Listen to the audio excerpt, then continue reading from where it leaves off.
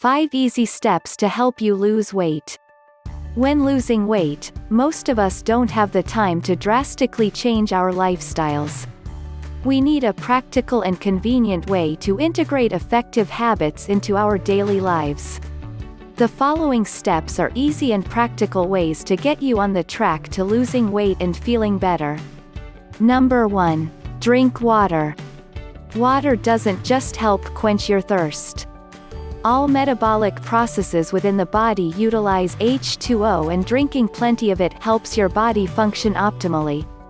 It also helps you feel your best. Many of the common daily headaches and fatigues we experience can result from a lack of water intake. Number 2. Eat breakfast. Many Americans fail to realize the true value of a morning meal. It not only boosts energy for the long day ahead, but keeps your metabolism regulated. Skipping a meal can put the body into survival mode, which means that it actually begins storing and saving fat as opposed to burning it. Number 3. Exercise. There is no easy way around it. Successful and sustained weight loss requires a commitment to physical activity. The best way to be loyal to physical activity is to work it into each day. Take a small part of each day to go for a walk, do aerobics, do yoga, or whatever other types of activity you enjoy. Mix it up so that you don't get bored with it. Soon, you will not only get used to it, but you will feel better too. Number 4. Choose variety. Don't let popular dieting trends fool you. Carbs are good for you too.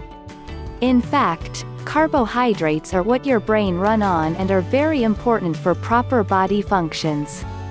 Following a high-protein diet over a long period of time can not only cause headaches but also places considerable stress on the kidney. The important thing is to eat a variety of foods. This includes fruits, vegetables, and even carbs. Just remember to be smart about the types of carbs you eat, whole wheat instead of white. Number 5. Eat slowly. We all get in a hurry from time to time, but it is important to take the time to listen to our bodies. Eating quickly doesn't give our bodies time to tell our brains that we have eaten enough.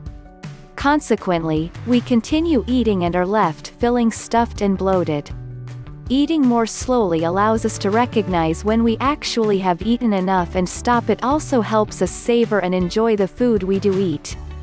Essential to losing weight is giving our bodies what they need.